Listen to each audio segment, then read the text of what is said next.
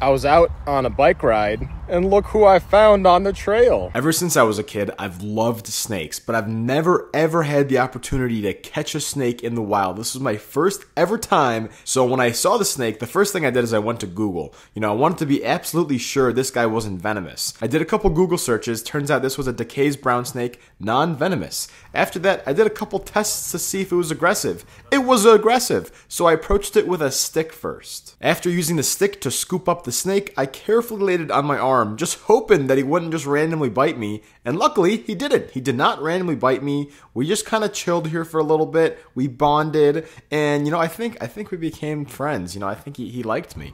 Um, I don't know. He was kind of chill with me after I got him. He just was chilling around, slithering up my hand. Uh, but yeah, after I after I got him, I took him off the trail, put him into the grass, and it's a good thing I did that because a little while later, a bunch of bikers zoomed by, he probably would have got smashed to bits.